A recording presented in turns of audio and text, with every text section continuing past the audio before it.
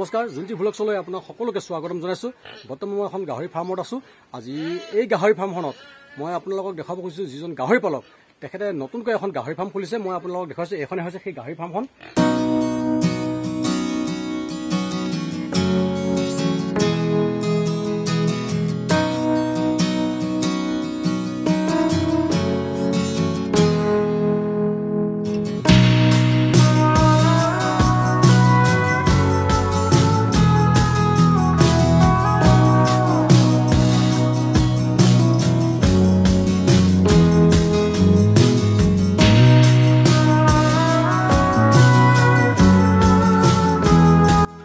নমস্কাৰ গ্ৰহণ কৰিব?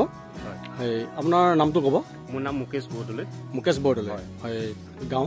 গাঁৱৰ ৰহা বগৈগুৰি হয়। ট্ৰাইবেল চবুৱা বুলি কয়। হয় আপোনাৰ কোন ডিষ্ট্ৰিক্টত পৰে? ডিষ্ট্ৰিক্ট মোৰ নগাঁও আৰু থানা ৰহা। আপোনাৰ গাহৰি ফাৰ্মখন খোলা আপোনাৰ কিমান বছৰ? গাহৰি ফাৰ্ম খোলা আজি মোৰ এবছৰ হৈ গৈছে। মাত্ৰ এবছৰ এবছৰ হৈ গৈছে। হয়, আপোনাৰ গাহৰি ফাৰ্মত বৰ্তমান কি কি প্ৰজাতি গাহৰি আছে? মোৰ আছে তিনিটা প্ৰজাতি গাহৰি আছে। ইয়ক্সি আছে হেমচি আছে। তাৰপিছত ঘুংগুৰু আছে ঘুংগুৰু আছে।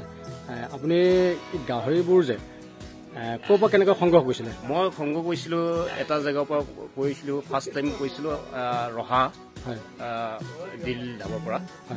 আৰু ছেকেণ্ড টাইম কৰিছিলোঁ ৰহা দীঘলেটি ট্ৰাইবেল চুবৰ পৰা। পৰা হয়, বৰ্তমান আপোনাৰ গাহৰি কেইটা আছে? মোৰ গাহৰি এতিয়া বৰ্তমান পাঁচটা আছে। মুঠে পাঁচটা পাঁচটা আছে। ইয়াৰ আগত আপুনি গাহৰি বিক্ৰী কৰিছিল নে ইয়াৰ আগত মই বিক্ৰী কৰিছিলোঁ। বৰ্তমান তিনিজনী গাহৰি মানে বিক্ৰী কৰি দিলোঁ। হয়। পোৱালি যাওঁ। প্ৰডাকশ্যন যিটো হ'ল বিক্ৰী কৰি দিলোঁ দুজনীও হয়। এই দুজনী বিক্ৰী কৰি দিয়ে মিনিমাম পালোঁ আৰু ডেৰ দুই লাখ টকা। আপোনাৰ এই গাহৰি বৰ্তমান যে ফাৰ্মখন যে খুলিলে গাহৰি ফাৰ্ম খোলোতে আপোনাৰ কিমান টকাৰ পৰা আপুনি আৰম্ভ কৰিছিলে? মই বৰ্তমান আশী হেজাৰৰ পৰা মানে ব্যৱসায়টো কৰিছোঁ। আশী হাজাৰ টকাৰে আপুনি অকল গাহৰি আনিছিল নে নে এনেই এই ফাৰ্মখনো আপুনি বনাইছিল? মানে all all total all total গাহৰিৰ লগতে আপোনাৰ ফাৰ্ম। ফাৰ্মখনত হয় মই আপোনালোকক দেখাব খুজিছোঁ। তেখেতে গাহৰি এয়া গাহৰি যে দেখা পাইছে এয়া গাহৰি আৰু ইয়াতে চাৰিটা ৰুম আছে। মই আপোনালোকক দেখাইছোঁ এয়া। ইয়াতে চাৰিটা ৰুম আছে। প্ৰত্যেকটো ৰুমতে গাহৰি আছে মই দেখাইছোঁ আপোনালোকক। আকৌ দেখুৱাম মই আপোনালোকক গাহৰি কি কি গাহৰি আছে। এইটো হ'ল ইয়কচাৰ ত' এইটো হৈছে ঘুঙুৰু এইকেইটা সেই ঘুঙুৰু এইকেইটা ঘুঙুৰুৱে হয় এইকেইটা। এইকেইটা ঘুঙুৰু হয়। আৰু এইটো ইয়কচাৰ হয়। বৰ্তমান ইয়াত এতিয়া যিকেইটা গাহৰি আছে এই গাহৰিকেইটা আৰু লগত তেখেতে এই পকা কনষ্ট্ৰাকশ্যনে এখন ফাৰ্ম বনাই লৈছে। মই আপোনালোকক দেখাইছোঁ এখন পকা হয়। তলটো ফ্ল' কৰি লৈছে।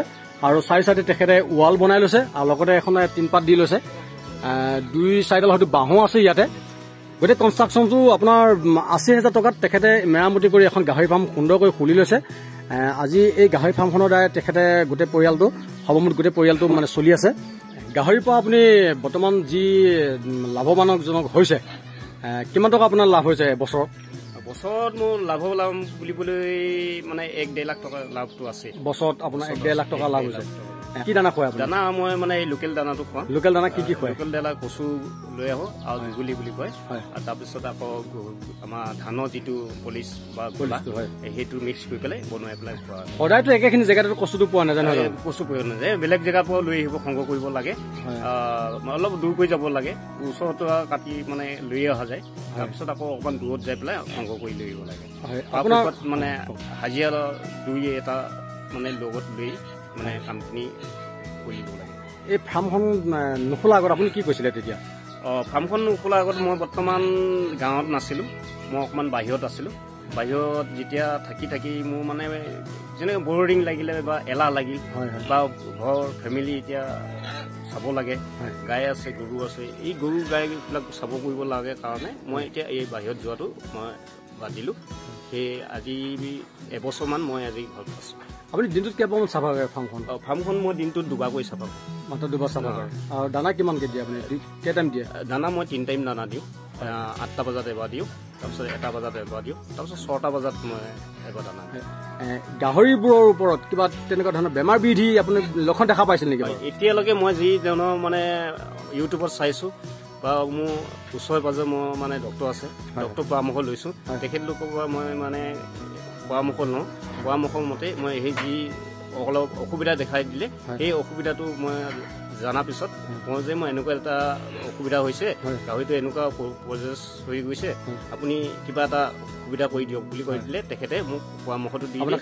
সেইটো মোক সেই তেখেতে সহায় কৰিছে। বৰ্তমানতো তেনেকুৱা ধৰণৰ আপোনাৰ এতিয়া মোৰ তেনেকুৱা ধৰণৰ ইমান ডাঙৰ মোৰ প্ৰভাৱ মোৰ নাই। প্ৰভাৱ পোৱাহি নাই। নাই। আপুনি মেডিচিন কি কেনেকুৱা ধৰণৰ মেডিচিন মেডিচিন বুলি ক'বলৈ মোৰ মানে ভিটামিন দিওঁ হয় হয়। তাৰপিছত পেলু দিওঁ।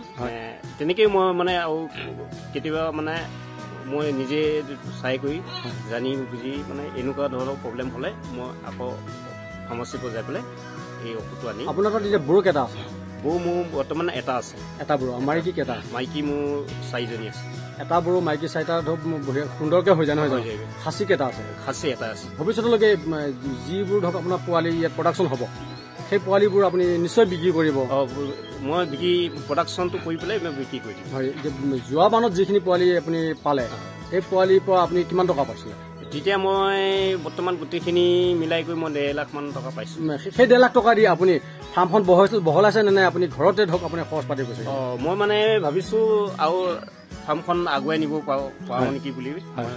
চিন্তা এটা আগুৱাই নিবৰ কাৰণে আপুনি চেষ্টা কৰি আছো। হয় আপুনি ফাৰ্মৰ ওপৰত আপুনি কিবা বেলেগত বা বাহিৰত গৈ কিবা অভিজ্ঞতা লৈছিল নে বা পঢ়া শুনা কেনেকুৱা কিবা কৈছিল? মই এই ফাৰ্মখনৰ কাৰণে মই কোনো জেগাত অভিজ্ঞতা হোৱা নাছিলো। হয়। মই ইউটিউবত তোমাৰ চাওঁ চেনেলবিলাকত চাই থাকোঁ। হয়, এই চেনেলত চাই থাকোঁতে চাইছো যে মানে এইখিনি এনেকৈ কৰি গ'লে অকণমান উপকৃত বেছি লাভ লাভটো হ'ব বুলি মই ভাবোঁ।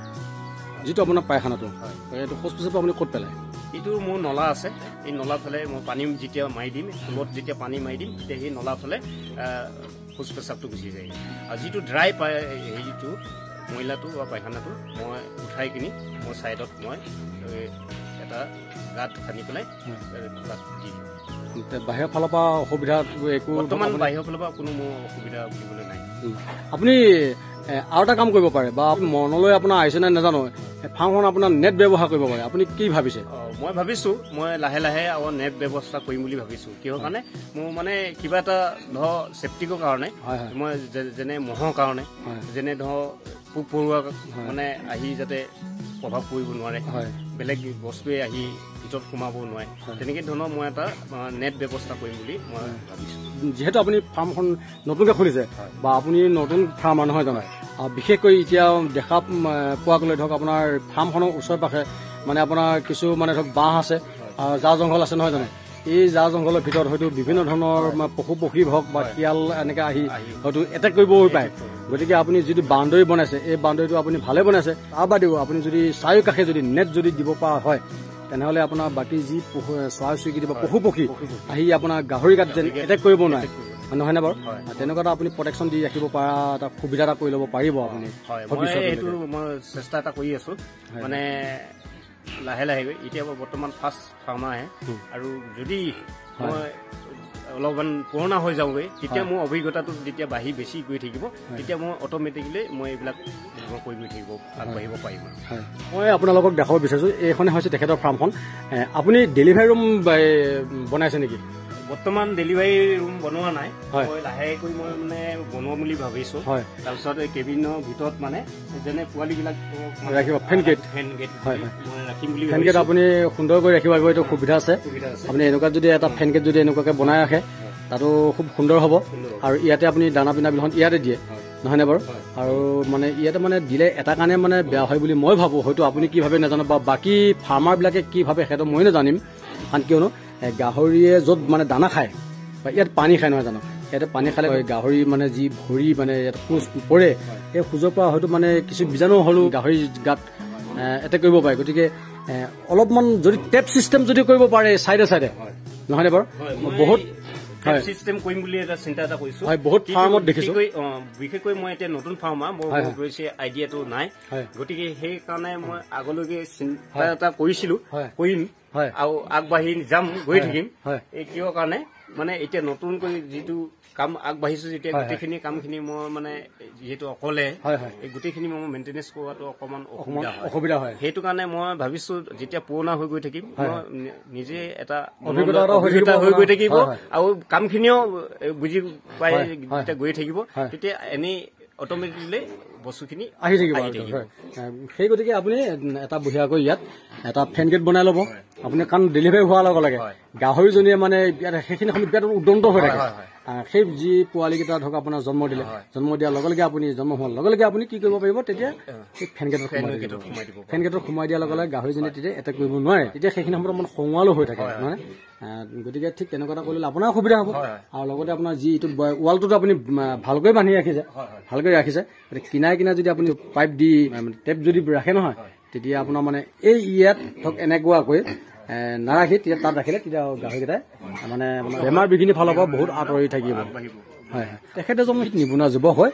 গতিকে আজি তেখেতে দুবছৰ ধৰি এই ফাৰ্মখনৰ লগতে জড়িত হৈ আছে।